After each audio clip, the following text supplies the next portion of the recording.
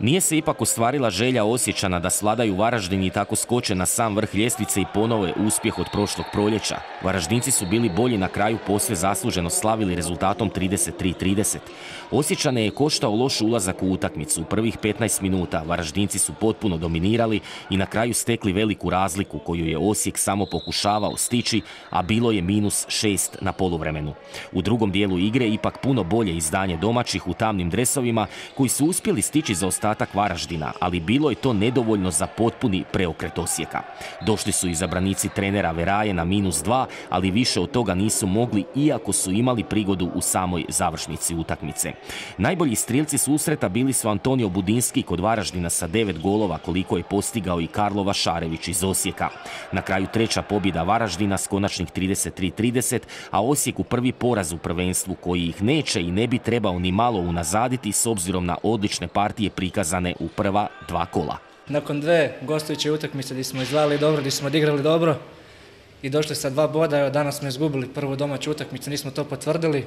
Prvo polovremeno se koštalo i od 11. mjeseca nismo bili, nismo nas tu niko pobjedio, ali evo sad smo vidjeli da, da i to možemo i moramo ići samo raditi i čeka nas Karlovac i moramo se pripremiti i pobijediti to. Držimo se dogovora, naporno treniramo i dođu rezultati.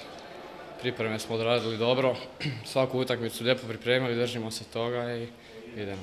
E, što kažete na sam tijek utakmice danas?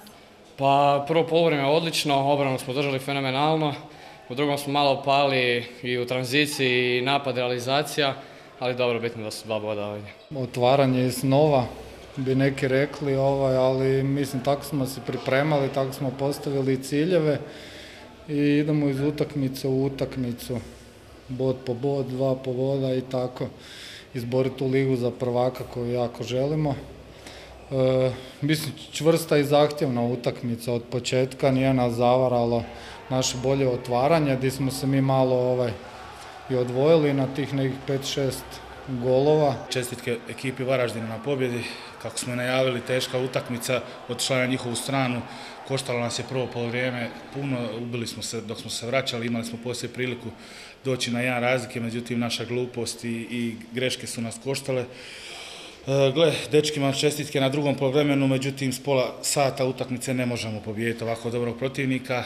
Moramo se okrenuti Karlovcu, ispraviti greške, izvući pouke i probati uzeti tamo dva boda. Osjećani i dalje imaju dva boda iz tri utakmice i sljedeća je u gostima kod Karlovca, ali prije toga imaju obavezu u kupu gdje gostuju preko tjedna u Mikanovcima. Osijek ako ponovi izdanja iz prva dva kola svakako se može nadati i novim bodovima u gostima i ostanku u gornjem domu ljestice.